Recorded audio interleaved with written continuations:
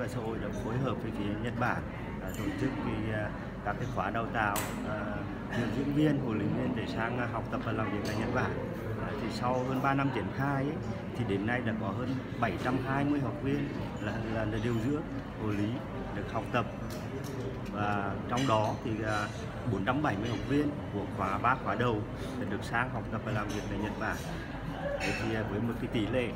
là 470 mà trên 510 học viên tức đạt khoảng 92%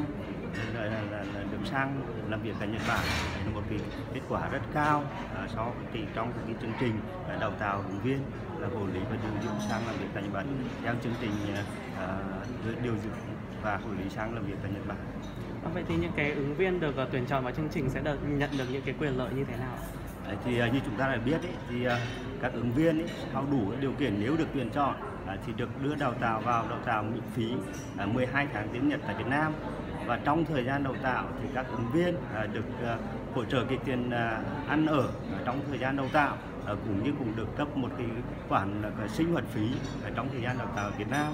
Nói tóm lại là tức là những người ứng viên mà đã đủ điều kiện và được tuyển chọn tức là hầu như được, hỗ trợ các cái chi phí trước lúc đi cũng như là các cái lúc trước lúc sang Nhật Bản thì cũng được mua vé máy bay để sang Nhật Bản thì người lao động cũng không không phải mất các cái chi phí gì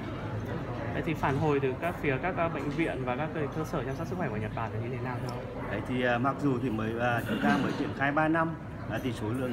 ứng viên chúng ta thì chưa nhiều so với các nước như Indonesia, Philippines à, như chúng ta thấy ấy, thì với cái, cái số lượng không nhiều à, nhưng mà à, qua cái, cái thời gian vừa rồi ấy, thì cái số lượng nhu cầu à, mà các điều dưỡng của lý Việt Nam của các cái cơ sở à, à chăm sóc sức khỏe à, của người Nhật à, rất là cao so với cái số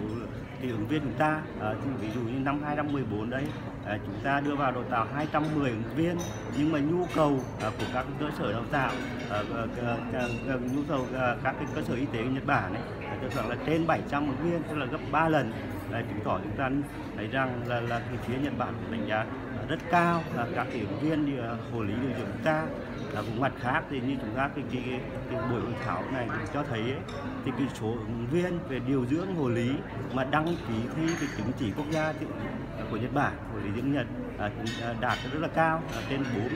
41% đối với điều dưỡng viên. À, tức là so với các cái tỷ lệ các nước Indo Indonesia cũng như Philippines đã cho thấy rằng là, là, là trình độ của các ứng viên chúng ta là cũng là, là, là, là được đánh giá cao ở các cái cơ sở uh, chăm sóc sức khỏe của Nhật.